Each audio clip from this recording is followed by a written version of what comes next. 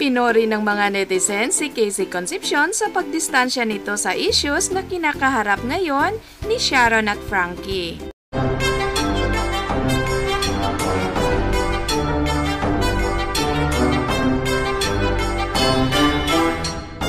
Mapa-Twitter man, Instagram, YouTube o Facebook, ay umani ng papuri si Casey Concepcion mula sa mga netizens dahil sa pagdistansya nito sa isyu na kinakaharap ngayon ng kanyang mama Sharon at kapatid na si Frankie Pangilinan.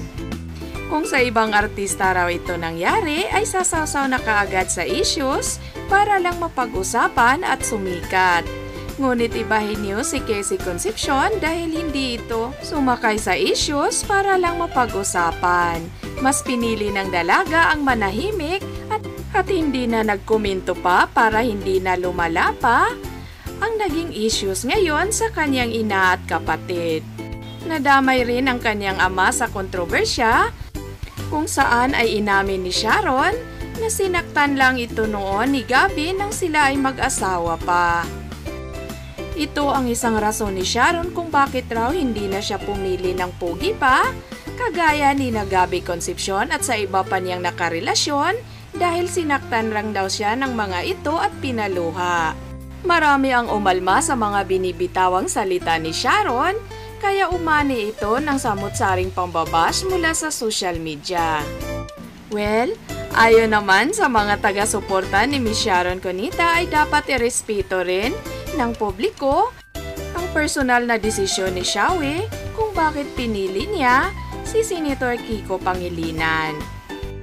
Sana malagpasan na ni Sharon at ng anak niyang si Frankie ang emotional stress na dulot ng pagsubok ngayon na kinakaharap nilang dalawa.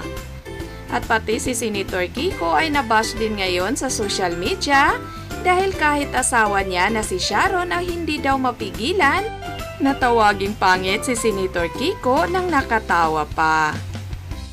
Bilang anak at panganay sa lahat, tiyak na ikinalulungkot ni Casey Concepcion ang mga nangyayari ngayon. Ngunit ayaw lang sumakay ng dalaga sa issues, kaya hindi na ito nagbigay pa ng komento at sigurado na tumatawag naman ito sa kanyang mama Sharon.